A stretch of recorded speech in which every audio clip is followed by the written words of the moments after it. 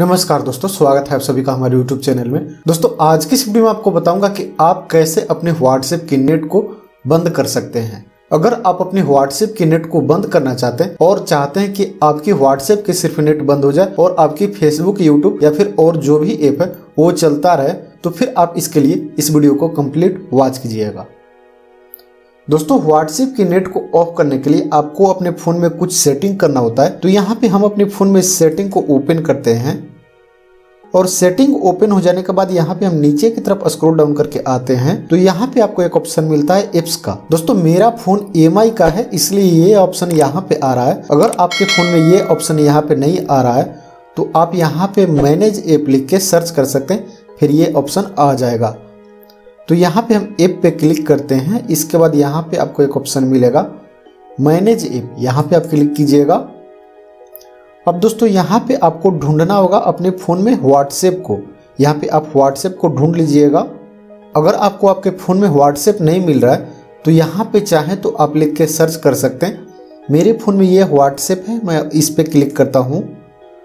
और दोस्तों व्हाट्सएप पे क्लिक कर देने के बाद यहाँ पे आपको एक ऑप्शन मिलता है, डाटा यूजेज का। तो यहाँ पे आप क्लिक कीजिएगा डाटा यूजेज पे, और यहाँ पे आपको दोस्तों दो ऑप्शन मिलते हैं, मोबाइल डाटा और वाईफाई। तो यहाँ पे आप इस दोनों ऑप्शन को ऑफ़ कर दीजिएगा।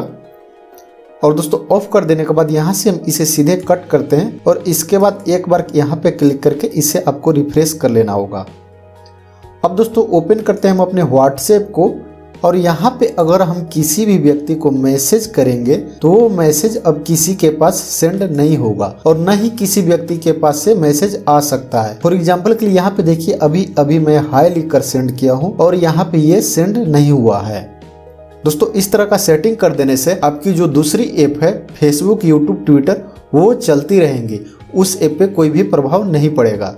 अगर दोस्तों आप इसे ठीक करना चाहते, अपने व्हाट्सएप की नेट को आप ऑन करना चाहते हैं तो आपको फिर से अपनी सेटिंग में जाके आपको वो सेटिंग को चेंज कर देना होगा, जिससे आपकी व्हाट्सएप की नेट चलने लगेंगी। उम्मीद करता हूँ ये छोटी सी वीडियो आपके काम की और आपके हेल्पफुल होगी।